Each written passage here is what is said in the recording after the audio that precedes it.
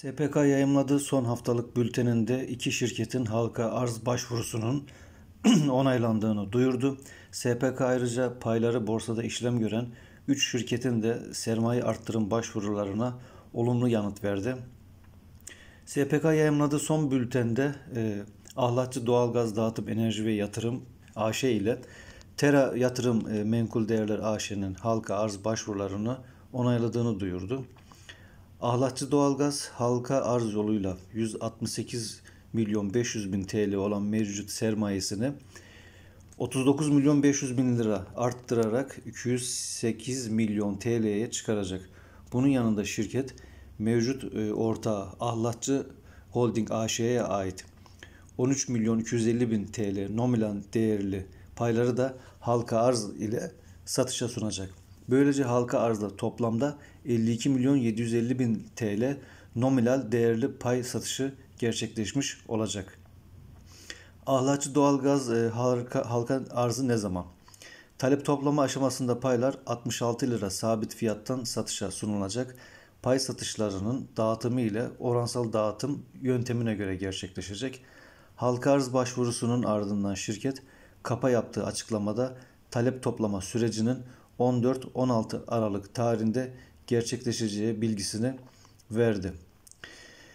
E, Alhatçı Doğalgaz ayrıca sermaye arttırımından elde edilecek fonun kullanımına yönelik açıklama yaptı. Buna göre halka arz ile elde edilecek fonların %80 ila 90'ına karşılık gelen tutarın doğalgaz dağıtım sektöründe faaliyet gösteren şirketin doğrudan bağlı ortaklık ya da iştiraki olarak bünyeye dahil edebilecek satın almalar, enerji sektöründeki diğer yatırımlar ve finansal sektörde faaliyet gösteren şirket alımları için kullanılmasını planlanıyor.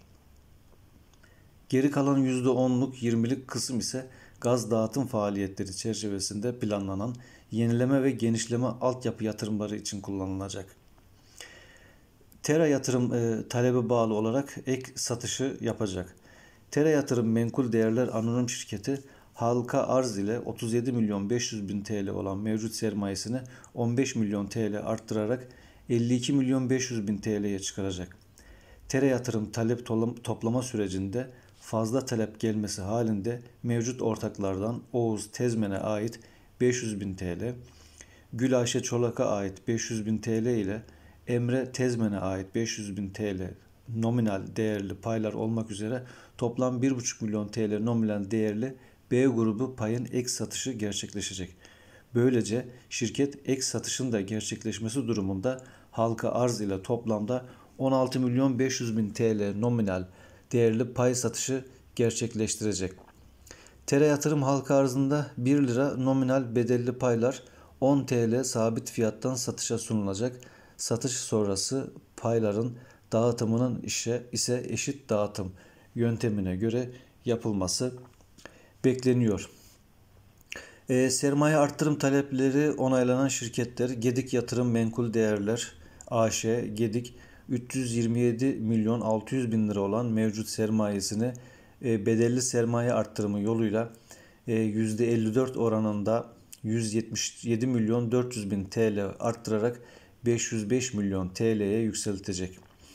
E, Euro Yatırım Holding AŞ 60 milyon TL olan çıkarılmış sermayesini ise %150 bedelli sermaye arttırımıyla 90 milyon TL arttırarak 150 milyon TL'ye çıkaracak.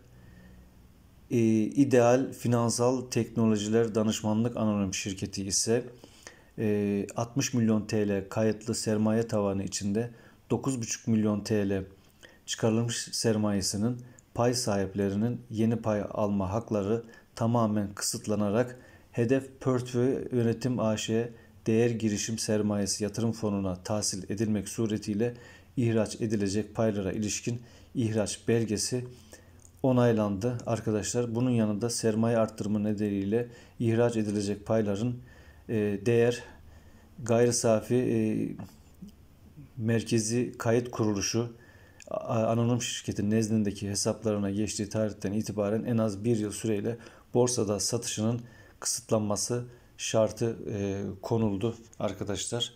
İzlediğiniz için teşekkür ediyorum.